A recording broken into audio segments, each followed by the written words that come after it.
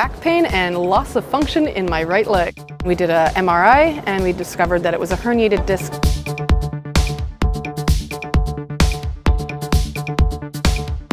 The Jewish General Hospital, a member facility of CIUSSS West Central Montreal, continues to innovate in the field of surgery. This time, it's Dr. Jeff Golan, a neurosurgeon, who treats some of his patients with a procedure called spinal endoscopy. This is a first in Quebec.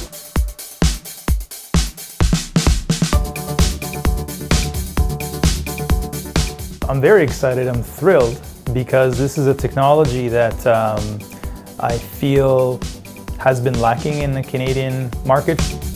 So it kind of impacted how I was able to work. And even at home, sleeping at night, I'd have to wake up in the middle of the night to take pain medication.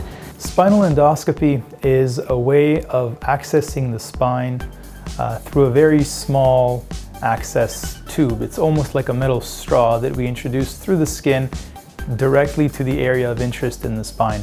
For uh, sciatica, uh, for some types of back pain, for spinal stenosis. With this surgery, there's almost no tissue damage. And so recovery and return to normal activity can be as quick as several days. Today I'm actually feeling really good. Um, I've been at work today, so I was in the area going around seeing clinics. Um, I am bending over and doing stuff. I'm not lifting stuff yet. I'm on a 10 pound weight restriction, but at the same point, I'm still able to actually go and do what I need to do. Life is good.